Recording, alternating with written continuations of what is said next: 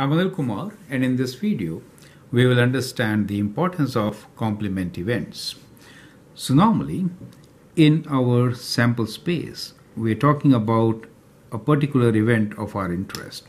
Let us say event A of our interest is this event, right?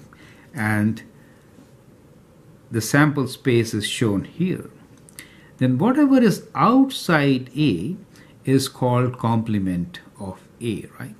So this part which is outside is A prime. Sometimes we also write in different ways, right? Which could be kind of like this. Okay. So what you observe here is that combination of these two is the whole sum of outputs or outcomes, right? So the combination of probability of A and the probability of A prime or complement is equal to 1. So that is the concept which we can use to solve some questions. Here is an example. What is the probability that a randomly drawn integer between 1 to 50 is not a perfect square? So we are saying we want to draw an integer between 1 to 50 and that should not be a perfect square. Now there are 50 numbers. Now which one of these are perfect squares? Let's list them. Well first, what is what are all the possible outcomes when we draw one integer? We have 50 is the possible outcomes. Now how many of them are favorable? Now we say not perfect square. So, so there are a lot of numbers, but we can easily count those which are perfect squares. So let's think about those outcomes which are perfect squares. So, so when I say n of a prime, which is complement of our probability, that means we are looking for uh, perfect squares in this case. So out of these 50 numbers, which are perfect squares.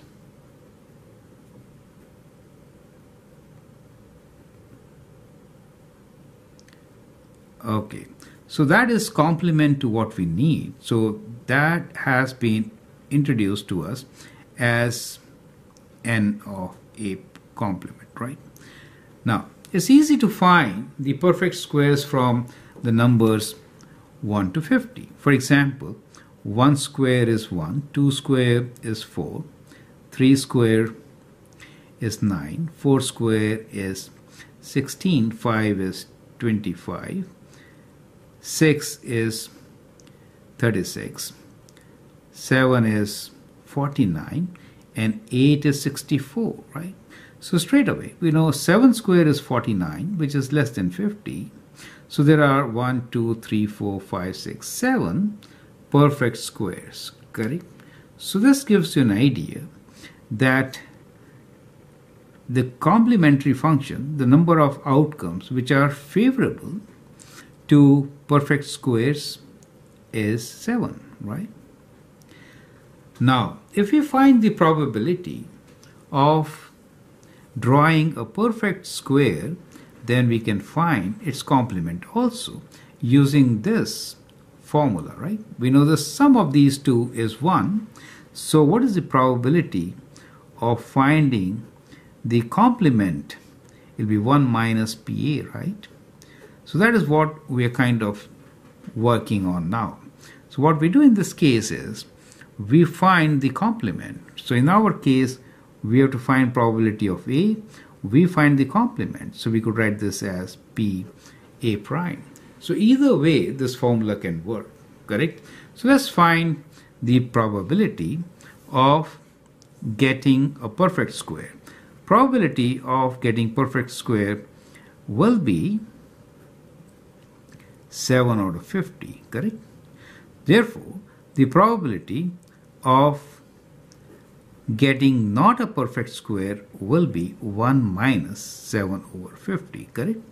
So that gives us the answer 50 minus 7 which is 43 43 over 50 is that okay now you could do it like this or you could also do from here in our sample space, we have 50 possible outcomes. Out of these 50, 7 are perfect squares. So which ones are not perfect squares?